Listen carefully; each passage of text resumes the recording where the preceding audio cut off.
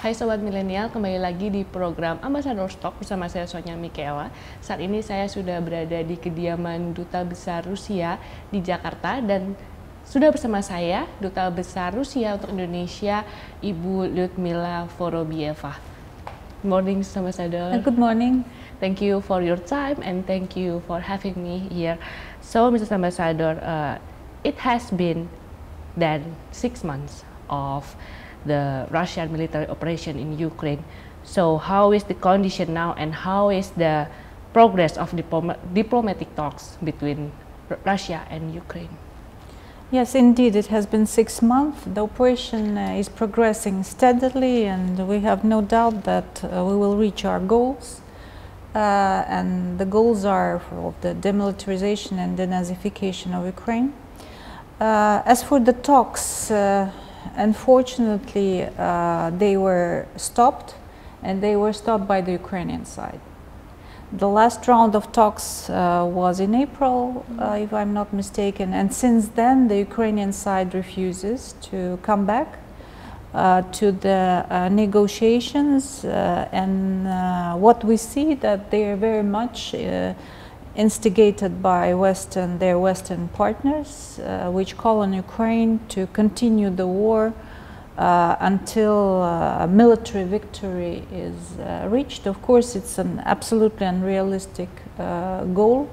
So the question is uh, why the government in Kiev is sacrificing uh, their own people to please uh, the West and to try to reach this absolutely unrealistic uh, goal.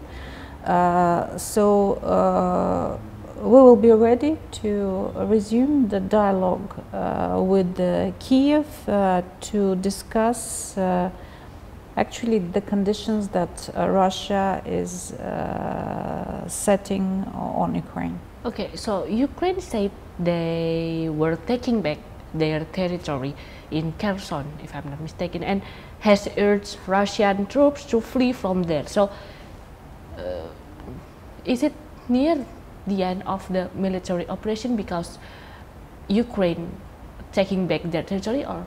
Of course not. First of all, they didn't take uh, the the territory. They tried to launch an offensive, uh, but they are failing there are still actions uh, going on, but it's absolutely clear that uh, this will not happen. And uh, in a sense, uh, the this offensive was more in the information area than in, in real life.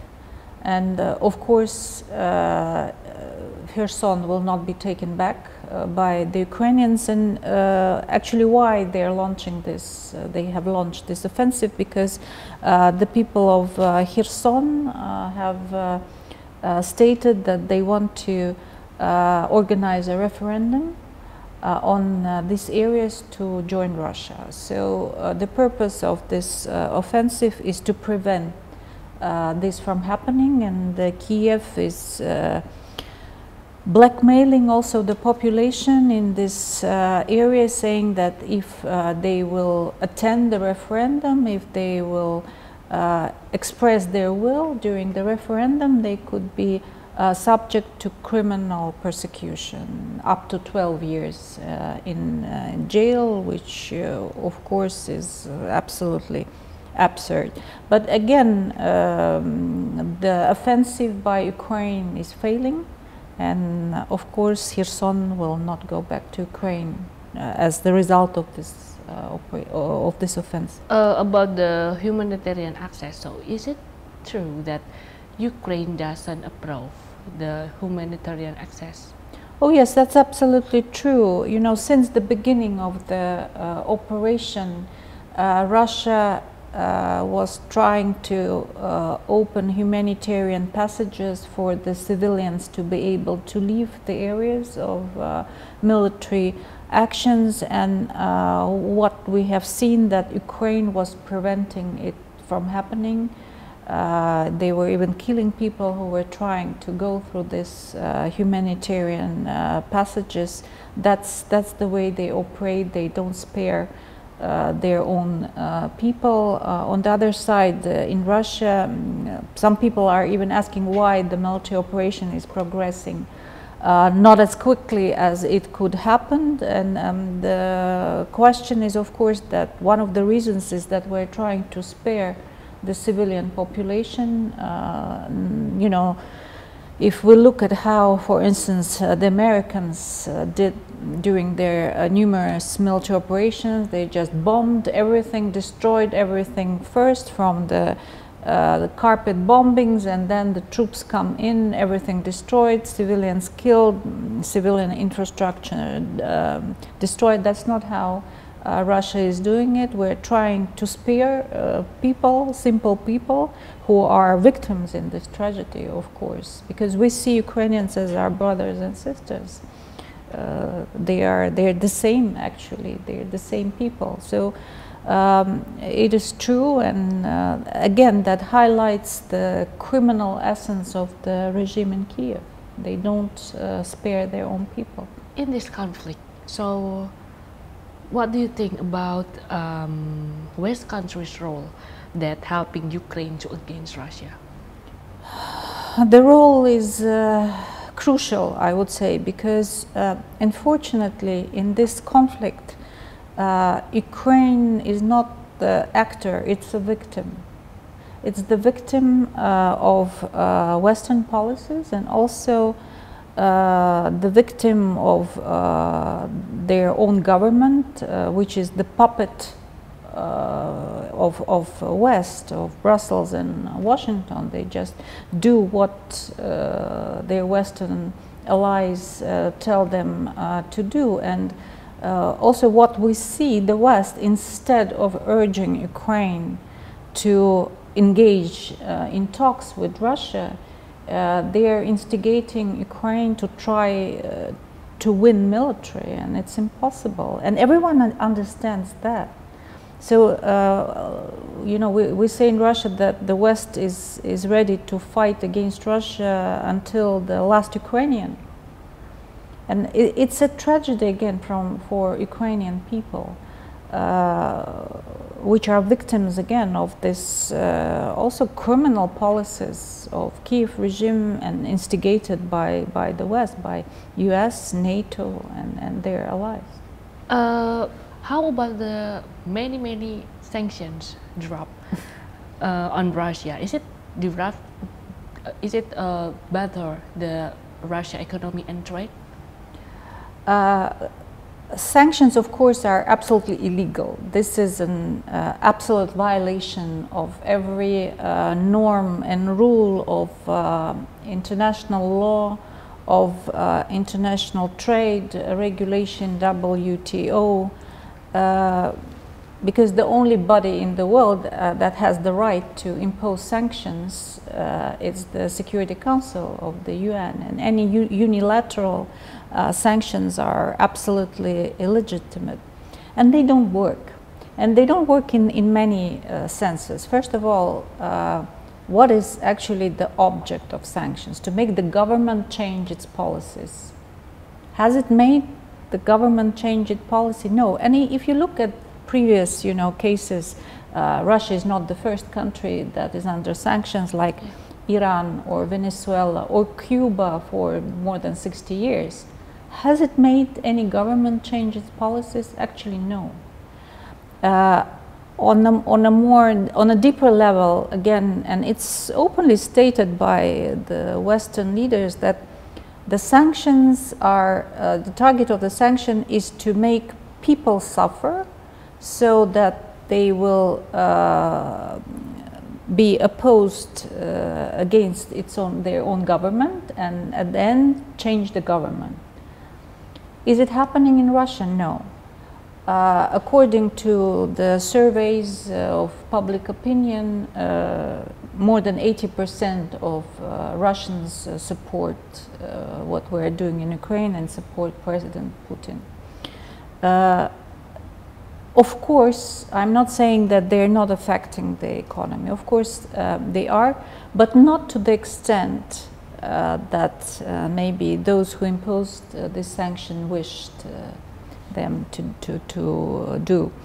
uh, you know, I came back from Moscow uh, a week and a half uh, ago. I spent four, four or five weeks in Moscow, and uh, you know, life is normal. Life is normal. Of course, the prices are a little bit higher than they used to be because they are more. Uh, there are more uh, logistical difficulties now to bring the goods uh, to Russia, but what we produce in Russia, and we do produce practically, you know, everything we need. And, and first of all, we produce energy and food. We're self-sufficient. You go to a Moscow shop, you will find anything. I mean, food, you know, a supermarket. You will find everything. I mean, dairy, bread, uh, cheese, I don't know, meat. There is no lack of uh, supply for uh, Russians. Uh, of course, things would have been even better without the sanctions, but uh, Russian economy proved to be resilient, and uh, the government policies also helped to uh, reduce the impact uh, from from the sanctions. But uh, you know, you look at the map. You know, Russia is the biggest country in the world. We have a huge territory. We have a well-educated population. We have industries. We have technologies. Uh, okay, if we, we don't import something, uh, I'm sure uh, in a you know middle middle term we will uh, uh, we will produce our own. of course, I'm I'm not telling that we want to self-isolate, and we're not because uh, we have uh, many partners uh, in the world, uh, including ASEAN, Indonesia, of course, uh, Latin American, African countries uh, that are very willing to cooperate to Russia that have not imposed any sanctions against Russia. So our economy is um, adjusting to this new situation and hopefully we will do even better in the time to come. Okay, uh, we move to bilateral uh, relation between Russia and Indonesia. Uh, what do you think about the last visit of our president uh, Joko Widodo to Moscow and meet your president Vladimir Putin? And uh, Indonesia called uh, the visit as a peace mission to uh, the conflict of Russia and Ukraine? Well, uh, of course, we appreciate very much uh, the efforts of uh, President Widodo uh, in, in this situation, but un unfortunately, the Ukrainian side is not willing. Uh, that's the problem. Uh, and the visit by President Widodo to Moscow and his talks to our president were very good and direction I uh, uh, I heard about in Moscow when I was, as I told you a couple of weeks ago. Uh, our president is very happy with the visit and with the intention of Indonesian leader to promote cooperation with our country. Uh, and again, we're also very appreciative of the position of Indonesia as the G20 uh, chairman uh, inviting our president to come uh, to the G20 summit. I can tell you that we are participating in the majority of G20 um, meetings. Uh, as you know, our Minister of Foreign Affairs uh, was recently in July in, in Bali for the G20 ministerial meeting and uh, the Speaker of our Parliament, Mrs. Matviyenko, is also intends to come for the parliamentary meeting of the uh, G20 countries in uh, October. Mm, uh, so the visit was a great success. In, terms of bilateral relations, unfortunately for the uh, Ukrainian situation, uh, it all comes to the position of Ukraine and the Western, uh, their Western allies that actually they don't allow Ukraine to engage in any uh, peace talks uh, with Russia. Okay. Uh, about uh, G20. So uh, according to Indonesia presidency and G20, uh, will be President Putin come to G20 summit this year? Uh, the only thing I can say that uh, the invitation has been issued yeah. and we're very grateful for that. Uh, the reply from President Putin that he intends to come in person, but uh, there are still many considerations to be taken in account. The recent uh, statement by the press secretary of uh, the president was that also the uh, considerations of security should be taken in account and how the operation in Ukraine uh, develops, how the COVID situation uh, is. Uh, so we will see. okay. okay. Uh, the last but not least, mm -hmm. may you explain, according to the last visit of President Joko Widodo to Moscow, uh, is there any new cooperation between uh, Indonesia and Russia? Well, uh, actually, we have. Um, many areas that we can uh, work uh, together uh, and it, it's not only trade and of course uh, we are ready also to supply uh, energy uh, to I mean oil to Indonesia agricultural products of course fertilizers despite all the sanctions and all the difficulties. uh, we hope that uh, the flow will go on uh, of this kind of goods. Actually, what the president suggested uh, was discussed during the bilateral meeting that uh, our uh, companies and government agencies should look at um, the building of the new capital, for instance, uh, Nusantara, because yeah. uh, you know Jakarta and Moscow they are uh, sister cities, and uh, actually recently a delegation from the government of Moscow participated in one of the G20 uh, meetings on urban development. Uh, and again, they, they are ready to look how we can uh, participate uh, in, in this project. Uh, we have uh, technologies of uh, smart city. You know, in Moscow, uh, I come once a year for vacation, and every time I see changes for the best in Moscow. For instance, now we have a lot of electrical vehicles, buses okay. used for public transportation. Okay. So as we hear, the Nusantara project is a green project, so probably this kind of technologies and uh, how you can turn uh, the um, public transportation uh, to being green. Uh, we can look look at that smart city technologies.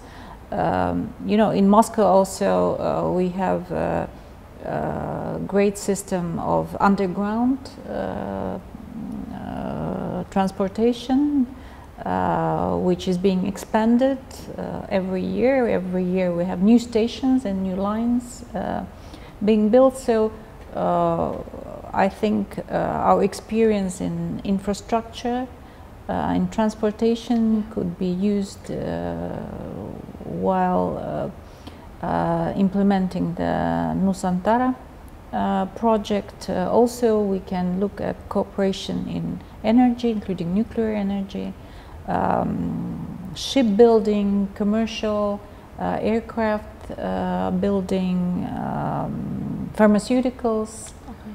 uh, and many others. We have a great potential of cooperation, of course. Uh, how about people to people connect? Uh, uh, absolutely, this is also an area that uh, we uh, we have contacts in this area. Uh, we provide we provide uh, scholarships for Indonesian students. The government okay. of Russia. the number of scholarships um, has been increased to 261 uh, from 161, but uh, we are trying to have more because we see a big demand for education in Russia. Uh, now we have uh, around 700 Indonesian students in, in Russia. I've seen some of them uh, in Moscow uh, because the uh, embassy of uh, Mm-hmm. Indonesia has organized a very beautiful celebration of the Independence Day on the 17th August in one of the central parks of Moscow. There was a cultural festival and many of the students who uh, at, who study in Moscow. They attended uh, this festival, and I can tell you it attracted a big crowd of visitors. Uh, the, the, this park was just full of people who came to see. There were was performances of dancers and singers from Indonesia.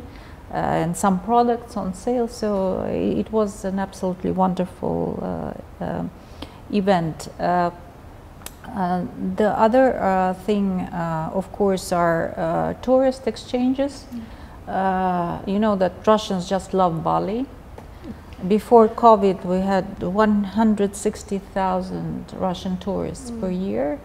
Um, since uh, the government of Indonesia decisions to grant visa on arrival for Russian uh, tourists, we also see an increase of uh, number of Russians going uh, to Bali, and uh, we're sure that uh, it, there will be even more Russians, and, and we are also ready to welcome tourists from Indonesia.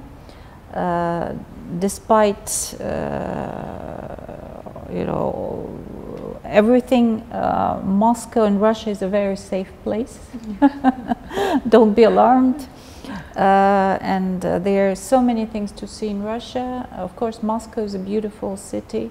St. Petersburg is a fantastic city, but also uh, for our Muslim friends, uh, we have Muslim regions like Tatarstan with the beautiful capital Kazan. I've never been to Kazan, but everyone who visited says it's just an amazing place. Uh, uh, so um, we're ready to welcome more uh, tourists uh, from Indonesia. Okay, so uh, Russian absolutely loves Indonesian. Oh yes, you, you ask anyone in the street in, uh, in, in, Moscow or St. Petersburg what the first word comes to your mind if you say Indonesia, Bali. but of course, Indonesia is much more than Bali. Yeah. You have so many beautiful places, just fantastic. Bali is wonderful, but you know, I've, I've, I've, visited many regions of Indonesia, and including Sulawesi, Sumatra, Kalimantan, and every uh, region I or area I visited just just so beautiful. People are so nice. So I hope more Russians will come to Indonesia, not only to Bali but to other places as well. Thank you, thank you very much, Mr. Ambassador, for your time. Uh, sekian wawancara saya dengan Ibu Duta Besar Rusia untuk Indonesia, Ibu Ludmila Vorobieva, dan sampai jumpa di Ambassador Talk episode berikutnya.